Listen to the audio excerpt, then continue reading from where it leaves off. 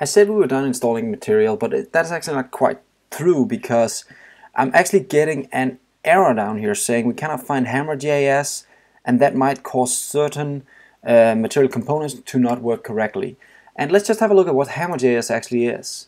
Now Hammer.js is um, another library out there that Material uses to make touch information work. I know it's some of it it uses for is for like sliding stuff on the window, but you can have a look at Hammer.js here if you want to. I'm just going to accept that we require that plugin to get all components working.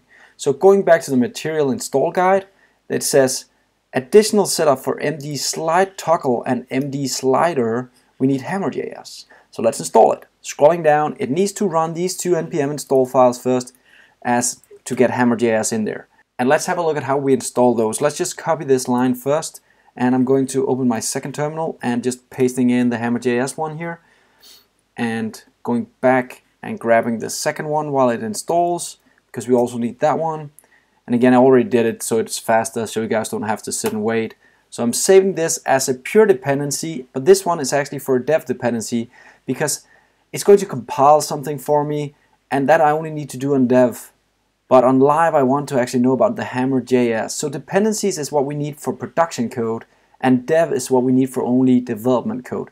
And now we have two new in here. We have the Hammer.js here, and if I scroll down, we have types, and there there should also pop a Hammer.js up. It doesn't seem to be there right now. Let me just try and refresh. There we go. Types Hammer.js. So now it's installed at least. What else do we need to do to actually get Hammer.js up and running? Scrolling down, it says go to the app modules. Okay, and import Hammer.js.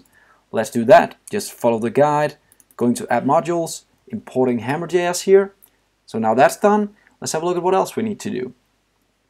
Going back, it says one last thing you need to do is add this compiler option and add types Hammer.js to the tsconfig file.